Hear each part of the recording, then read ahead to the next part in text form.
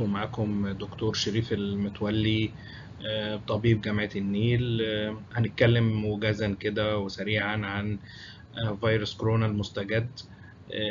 نعرف عنه شوية معلومات نعرف إزاي نحمي نفسنا منه. شوية داتا كده وحقائق عشان نبعد عن الإشاعات والحاجات المكذوبة كتير جدا. فنبدأ إن شاء الله.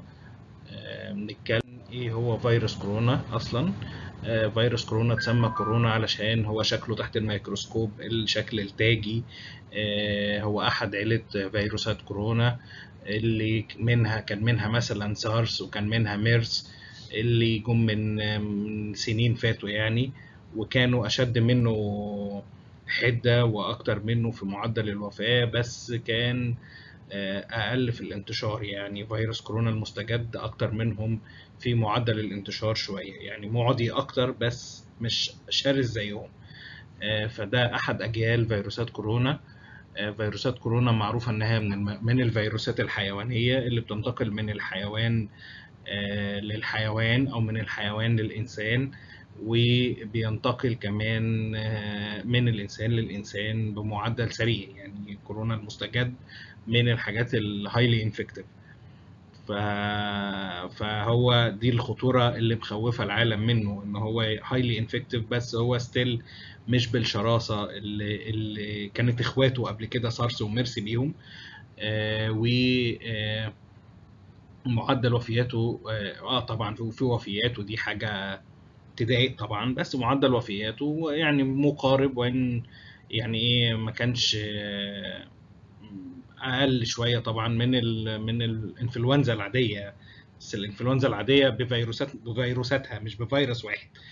آه فالفيروس ده من برضو الحاجات المقلقة إن إحنا ما عندناش آه clear scenario هو اتنقل من حيوان إيه واتنقل إزاي؟ بس إن كان المؤكد إن هو بيتنقل بالتنفس أو بيتنقل بالأسطح الملوثة وإن إحنا نلمس أسطح ملوثة بإيدينا ونحطها على وشنا أو نحطها على عينينا. أه لحد دلوقتي مفيش له علاج وإن كان في تجارب عدة وبدأنا نسمع عن أه الصين بتجرب علاج وجربته على الناس. أه أمريكا بدأت تحضر مصل وفي مراحله الأخيرة فإحنا منتظرين ليه مصل أو علاج بس هو زيه زي معظم الفيروسات بتعتمد على مناعة المصاب. يعني ده رقم واحد في الشفاء يعني.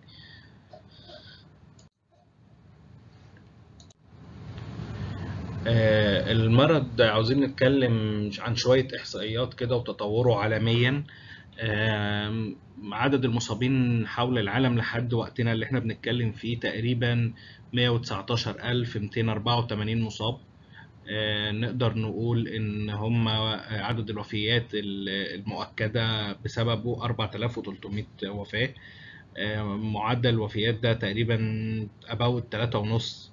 طبعا في في دول أقل من 2 وفي دول أعلى من 3 و4% و5% كمان. آه عدد الناس اللي في مرحلة الشفاء تقريبا وصل 85% طبعا نسب الوفاة طبعا معدلاتها كبيرة جدا في الأعمار فوق ال 60 سنة واللي عندهم بالفعل أمراض مزمنة زي أمراض القلب والسكر ارتفاع ضغط الدم أمراض اللي بتؤدي لنقص المناعة فدي نسب الوفاة فيها مرتفعة لكن الأعمار الصغيرة واللي ما عندهمش مشاكل صحية مزمنة مع يعني نسب نسب الوفاة قليلة جدا يعني ده هنشوفه في الإحصائيات اللي جاية إن شاء الله. في مصر عدد الإصابات 59 ما بين جنسيات أخرى وما بين مصريين.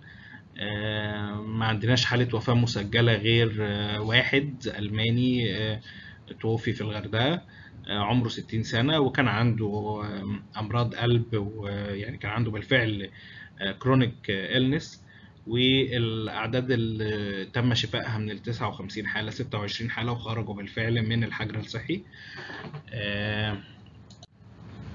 دي إحصائية كده مجمعة. طبعا مصادر ال data دي كلها من منظمة الصحة العالمية والمؤسسات الرسمية لكل دولة. فده زي جدول بيورينا معدلات الوفاة مقارنة بالأعمار فلو إحنا شايفين إن من صفر لتسع سنين تقريبا الأطفال لحد تسع سنين مفيش حالة وفاة سجلت. المرحلة بتاعت الشباب اللي هو من 10 ل 19 ومن 20 ل 29 ومن 30 ل 39 معدل وفاة 2 من 10% فيعني ده ضعيف جدا وده المعدل بتاع طلابنا وبتاع معظم أساتذتنا وال staff اللي شغالين معانا في الجامعة.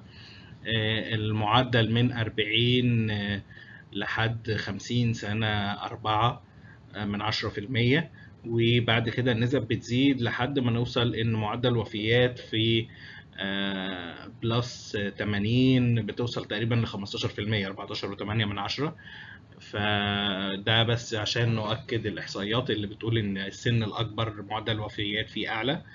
الإحصائية اللي بعد كده بتتكلم عن الأمراض المزمنة ومقارنة ما بين عدد الحالات اللي توفت في ال confirmed cases وعدد الحالات المسجلة للموضوع ده. فعدد الحالات اللي يعني نسب الوفاة في اللي عندهم أمراض قلب 13.2 من عشرة في اللي عندهم أمراض قلب وجالهم كورونا 13.2 من 10 لكن اللي عندهم أمراض قلب أصلا نسبه الوفاه فيهم 10 ونص. الجدول بيقول لنا إن في فرق واضح طبعا في اللي جالهم فيروسات الحالات الوفاة اللي جالها فيروسات. اللي جالها فيروس كورونا وعندها أمراض مزمنة نسب الوفاة أعلى من الطبيعي. لو ما فيش أمراض مزمنة فنسب الوفاة ما بتتعداش 1% 9 من 10% نتكلم سريعا عن الأعراض. فيروس كورونا الأعراض بتاعته زي معظم أدوار البرد اللي بتجيلنا. شوية كحة ناشفة سعال جاف رشح احتقان في المناخير التهاب في الحلق ممكن جسمنا يبقى وجعنا. زي أدوار البرد اللي, موجودة كلها. ساعات الأعراض دي بتتطور لما هو أكتر من كده التهاب رئوي فشل في الجهاز التنفسي فشل في وظائف أعضاء الجسم أو الوفاة ودي طبعا إحنا قلنا نسبها وقلنا إيه الأسباب المساعدة في ده يعني. طبعا من أهم الأعراض الحمى والإرهاق. يعني لو إحنا عندنا أعراض برد عادية ودرجة حرارتنا مستقرة أقل من 38 فده مفيش منه قلق خالص. طب اقلق إمتى؟ لو درجة حرارتي عليت عن 38 ونص مع الأعراض السابقة. الأعراض السابقة أول ما ده يحصل ويحصل ارتفاع في درجة الحرارة لازم أروح للدكتور بتاعي. والأحسن إن أول ما أحس بأعراض برد أروح للدكتور بتاعي ونشوف الموضوع أصلا من بدايته. يعني ما استناش كمان لما يجي لي فيفر الفيروس زي ما قلنا بينتشر إزاي؟ بينتشر بطريقة مباشرة عن طريق إن أنا بتعامل مع مريض في رذاذ طالع أثناء العطس أثناء الكحة بيتناثر الرذاذ ده ويتنقل للأشخاص المتعاملين أو القريبين.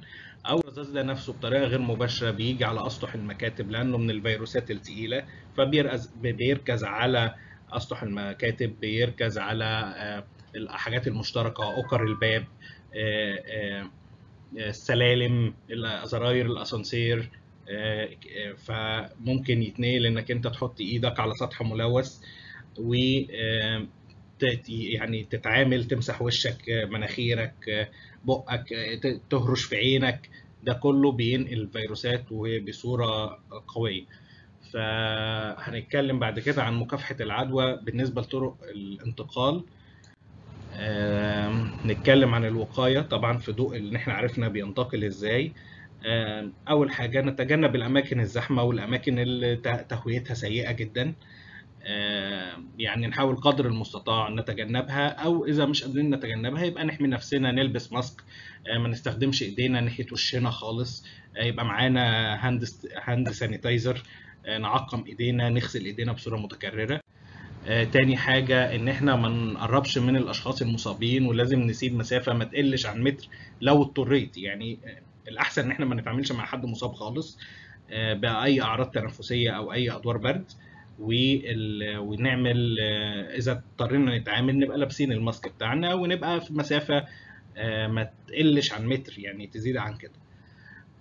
رقم ثلاثة ودي من الحاجات المهمة جدا ودي أهم الأشياء يعني إن إحنا نهتم بنظافتنا الشخصية غسيل الإيد بالماء والصابون بصفة مستمرة بعد التعامل مع أي أشخاص نحاول نتجنب طبعا السلامات بالإيد والبوس والأحضان والكلام ده تعقيم الإيد أو غسل الإيد إحنا بنعمل غلط هنا في أماكن في إيدك مش بتعقمها كويس أو مش بتغسلها كويس فال diagram اللي أنا حاطه ده بيوضح إن إحنا نغسل إيدينا إزاي أو نعمل hand rub إزاي اللي هو نفرك إيدينا بال Sterillium أو بال sanitizer gel بالطريقة اللي إحنا شايفينها في الصورة علشان نوصل لأطراف الأصابع ونوصل للإبهام من من جوه ونوصل لما بين الأصابع الأماكن دي ما بقاش فيه اهتمام قوي في الغسيل العادي أو في غسيل الإيد أو بتعقيمها ما بنهتمش عامة بيها. فدي ممكن يبقى فيها فيروسات وتنتقل بسهولة. طبعا لما نيجي إحنا عندنا دور برد أو مصابين بأي عدوى تنفسية لازم نحاول قدر المستطاع إن إحنا ما نعديش غيرنا. فلما نيجي نعطس نعطس في كوعنا زي ما إحنا شايفين في الصورة مش في مش في إيدينا. نبقى نستخدم المناديل ونتخلص منها بسرعة وبصورة واضحة ما نسيبش مناديل على مكتب. لازم تترمي في مكان كويس في الزبالة ونتأكد إنها ما حدش هيلمسها غيرك.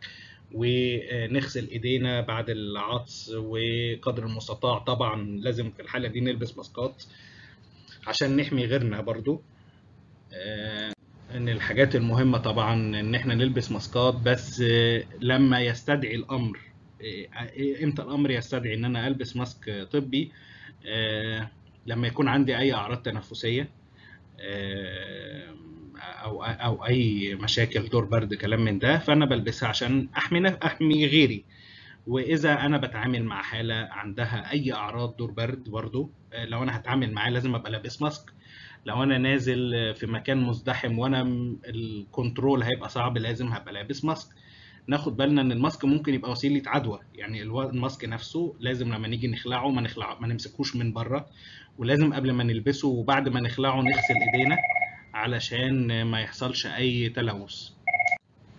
فلازم قبل ما اخلع قبل ما ألبس ال mask أغسل إيدي وأعقمها كويس ولازم وأنا بخلع ال mask أخلعه من ال... من جوه أو أقطع الخيط من بره من بعيد عن وشي وأرميه زي المناديل أتخلص منه في الزبالة الماسكات اللي هي وحيدة الاستخدام وأعقم إيدي بعد ما أخلعه على طول.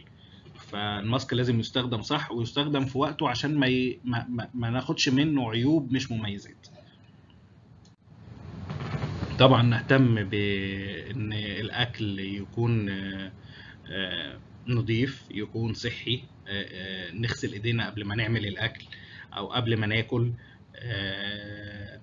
الأكل نفسه يتسوى كويس جدا عشان الفيروس يعني الحرارة بتموته طبعا. فالأكل يبقى مغسول كويس ومغسول بمواد تعقمه الأكل اللي هو الرو اللي ما طبخش. والأكل اللي بيطبخ خصوصا اللحوم لازم تطبخ بدرجة حرارة كويسة ويبقى يعني مجهز بصورة نظيفة. ونعرف يعني ناكل أكل المضمون بس يعني بلاش ناكل أكل بره بلاش ناكل أكل مش متسوي كويس. طبعا أهم حاجة إن أنا لو عندي أي دور برد أو أي أعراض تنفسية لازم أروح للدكتور بتاعي ما استناش لما الموضوع يتفاقم أو اعد غيري أو كده. والتزم طبعا بحماية نفسي وبحماية غيري. ننتقل بقى ل إحنا كجامعة النيل الخطة اللي إحنا عاملينها لمواجهة العدوى وده إحنا بادئين فيه حتى من قبل ما يبقى فيه أي حالات مؤكدة في مصر. إحنا بنعمل توعية وحملات توعية عن طريق ال brochures المكتوبة وعن طريق ال social media الفيسبوك وعن طريق ال mails وده إحنا عملناه بالفعل من بدري من قبل حتى ما يبقى في confirmed cases في مصر بالنصايح وبالإرشادات اللي إحنا نحمي بيها نفسنا. طبعا محطوط خطة مع النظافة إن إحنا الأماكن اللي فيها استخدام مشترك زي الأسانسير زي مقابض الأبواب أسوار السلم الأسطح اللي ممكن تلوث. إحنا عمال النظافة بينظفوا بديتول بصورة مكررة ومستمرة وأنا تأكدت من ده بنفسي. طبعا وفرنا ستريليوم في أماكن متعددة في الجامعة ولسه هنزود الأماكن اللي فيها ستريليوم عشان نعقم الأيادي ك ويعني نهتم بنظافة إيدينا عشان ما ننقلش العدوى. جبنا ماسكات طبعا علشان لو في حالات مشتبه فيها أو في حالات عندها أي أدوار برد نبقى قادرين نعمل حماية للي موجودين لطلابنا والموظفين. طبعا أي حد بيشتكي من حاجة أو من عدوى تنفسية دور برد لازم يجي العيادة ولازم أكشف عليه وأقيم حالته أشوف هو محتاج إيه محتاج علاج محتاج تحويل لمستشفى محتاج سيك ليف. طبعا كل ده لازم يتم عن طريق طبيب الجامعة. طبعا لازم نحط سيناريو لو حصل لا قدر الله اشتباه في حالة إحنا مجهزين أوضة عزل معقمة ومجهزة عشان نستقبل الحالات المشتبه بيها. دي موجودة بالفعل. في الأدوية اللازمة للإسعافات الأولية خوافض الحرارة الحاجات اللي تعمل يعني إيه المتعلقة بحماية حياة الإنسان يعني الايرويز الحاجات المهمة جدا على ما يجي الإسعاف. ياخد المشتبه بيه من أوضة العزل. طبعا المخالطين الزمايل الأصحاب للحالة وزمايله. طبعا الطاقم الطبي ال ال الناس اللي اتعاملت مع الحالة. لازم نوفر لهم ماسكات ونوفر لهم ونعرفهم سبل الحماية لنفسهم إزاي. طبعا إحنا على اتصال دائم بوزارة الصحة وبالسلطات علشان نعرف آخر المستجدات وإذا في حالات نبلغ عنها علشان تتحط تاخد الإجراءات بتاعتها طبقا للبروتوكول اللي الدولة متبعاه. المست... لو الحالة اتحولت لمستشفى واتاكد إنها مصابة لازم المنشأة أو المجامعة كلها بتتحط تحت الحجر الصحي علشان نتأكد إن مفيش حد تاني عنده مشكلة وبتحلل الطلاب والموظفين والحجر ده بيبقى لمدة 14 يوم. طبعا هو الموضوع إحنا مش عاوزين نبقى قلقانين زيادة ومش عاوزين نبقى متهاونين. الموضوع كله متوقف على إن إحنا نبقى واعيين لنظافتنا الشخصية نبقى واعيين إن إحنا ما نخلطش حالات عندها أدوار برد. لما يكون عندي دور برد لازم أحمي نفسي وأحمي غيري. الموضوع وقايته سهلة.